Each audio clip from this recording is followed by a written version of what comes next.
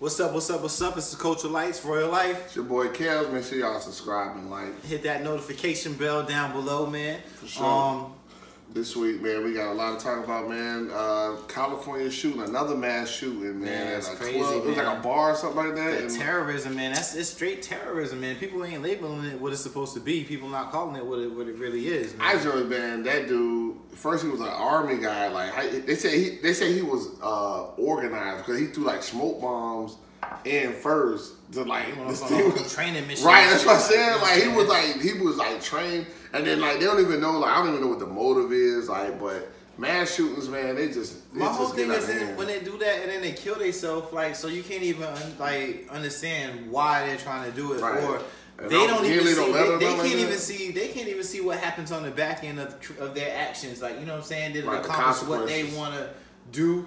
Right. Like, do people even remember their names? Like you know what I mean? So it's it's a whole weird thing, man. That I, I you know I really don't I don't understand. I feel what you're saying because like a lot of them, you know, they do it for the fame, but if Yeah. you kill yourself, like You don't even get to see the fame, like, did, or did it work, or did it not work? Did you not become famous? Did it, you know what I mean? And then not only that, like you were saying earlier, like you don't even remember his name. I, I mean, Yeah. only, only people that gonna remember his name are the victims and the victims' family, Exactly. but nobody else is gonna remember Nobody's who you are for what you did or something like that. I don't even remember the Virginia Tech shooting dude name, but None of them I mean, it's just To- senseless. To, to get your name remembered, you got to do something on a massive scale, like a Timothy McVeigh, or you know something where you're, or something you know, like you're, you're killing hundreds of people, which is you know super terrible. Don't Right. by any means. 11 That's what I'm saying. for Doing no this, reason. yeah, it's like you know, but when you're doing these like shootings, these mass shootings, that's what's the purpose? Like, what's the point? What are y'all trying to get across? Like, what, what did those people do to you? What did that Yeah, bar like, do to you? Why, why are you picking random people, or is it random? Is there a reason? Like, there's a lot of questions that, that, that are still left after that. Right, and that, that- um, yeah, it's so many questions because if it was for a cause, Yeah. then Like, if it's why a- not just shoot yourself in, in the beginning anyway? Don't even try to kill nobody. You gonna kill yourself anyway. or if it's like a workplace thing, like something Right. like Oh, yeah, targeted, yeah. where it's a lot of people, but it's because it's this company. It's you know something that makes sense, like why it's targeted. But um, just random, the randomization of it is something that I don't understand, and I, I Yeah, don't. so you know, random, yeah. Hopefully, I- don't ha- we don't have to get too much more understanding because Yeah, it's crazy, man, and, and hopefully it, it, it's, it's and just I, I feel sorry for the families and stuff like that because I was looking at the video with the uh, one of the guys. His mom was saying like he survived the Vegas shooting Yeah. just to get killed at Yeah. this shoot, and she was like, "I want gun control. I want gun control," but. Th- That ain't gonna solve nothing. People It's- gonna find a way to get gun guns. Just like yeah, it's- they gonna find a way to get really guns. Just it's more mental health issues Yeah. than gun control. I think you know. Yeah, because there had to Um, be something leading up to this for him to like out. I'm not, I'm not saying like people are gonna know this, but it had to be something. He didn't just wake up that day and was like, I'm gonna kill a bunch of people. Like something had to, or someone or something had to see signs evolving him to be like to jump that dramatically to just start shooting people. Like it's crazy. Yeah, I don't know, but um, speaking of shootings, man, you got the the Tekashi uh, video shoot getting shot up. Him, Kanye West, and Nicki Minaj. Um, yeah, man. California, right? It was, Yep, it was in California too. Damn. Yeah, I seen a little. You seen a little footage, footage academic put out. Um, Oh yeah, he did. Put he had it out. yeah, so you know, it's just. it's that, I don't even know what to say. Where to start, right? Where you- just like He doing too much. Like I, I hate I, I hate to say You know, on the heels of the what happened the other it. day with the uh, at the uh, thing out there in Long Beach they had where you know it was uh, on him trying uh, to go complex, ComplexCon, complex con, ComplexCon, like him and uh, YG homeboy, the something four, some four hundred or something, Something like, like that. that. They got into it where they didn't even let him in, like they was beefing or whatever. but they were saying that it was he wasn't getting in anyway because like the police or whatever like they had Uh-huh. realized that there was certain people that was inside and it just wasn't going to be a that safe dude be walking situation. around like Fifty Cent anyway. I was in the picture. He had like armed, off-duty police officers. Like, hey, he, you're not gonna Yeah. get to that dude. Like, I'm just I don't know I'm kind of tired of the narrative of him just always talking. We never talk about his music, man.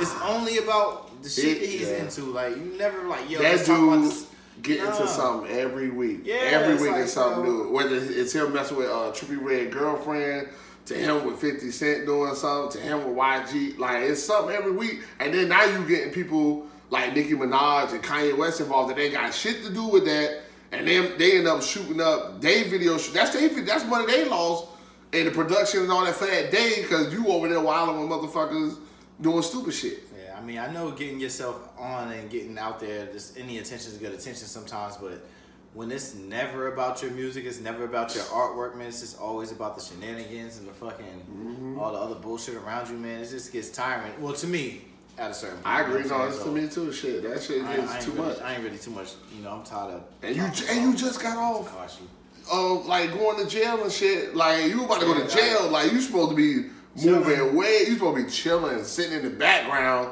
putting music out, dropping albums, but you always in the fucking news doing something stupid. Never for music either. You know Never for music. So, But yeah. yeah, it's just on a lighter note, man. We got fucking NBA shit, man. Yeah. On, uh, NBA still strong. NBA still Um, strong. Yep, but uh, The Jimmy Butler getting traded to the Sixers. Mm. Man, you know what I'm saying? How you feel about that? Uh, I think the process is over. As they say, like trust the process. Like the process should be over by now. Like I think with this lineup, even though I wish they would have kept uh, Covington, the defensive dude or whatever, the three He had to point man. Do you think Yeah. Philly's deal was better than Houston's deal though? With Houston with the four first round picks that they offered.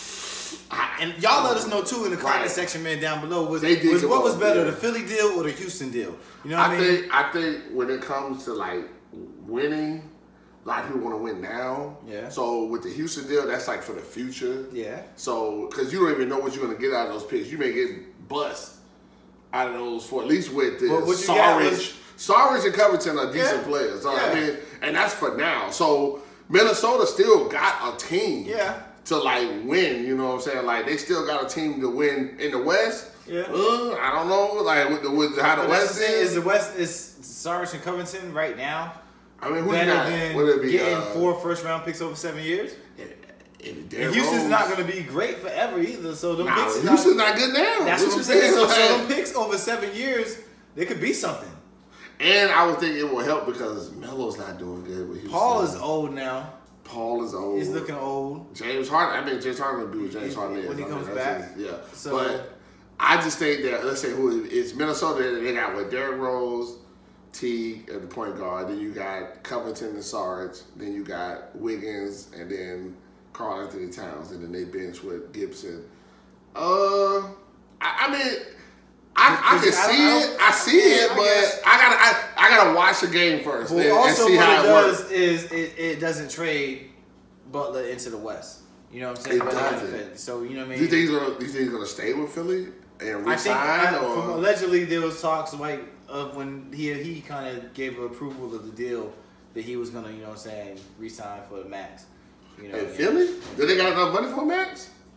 Yeah, I think they will. You know Okay, I'm well, I, I, well, I guess it depends because Ben Simmons still on his rookie contract, and I think Joel Embiid already signed a big contract last year, so they got money.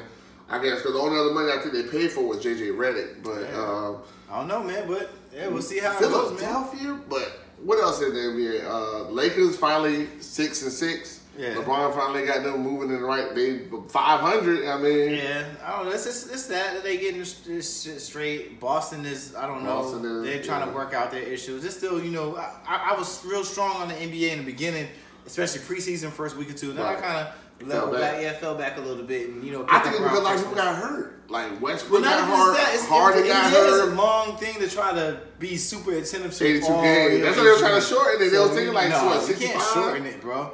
But you just, you know, check back in around Christmas time.